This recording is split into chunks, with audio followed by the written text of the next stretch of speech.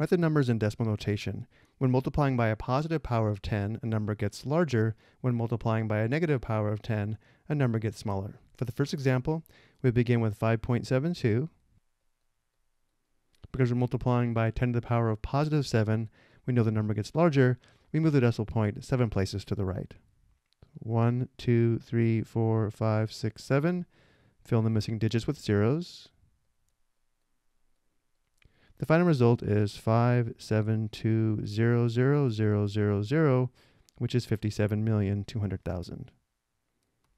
For the second example, we begin with 1.5. Because we're multiplying by 10 to the power of negative 4, the number gets smaller. We move the decimal point four places to the left. So 1, 2, 3, 4. Fill in the missing digits with zeros. The final result is 0.00015 or 0.00015.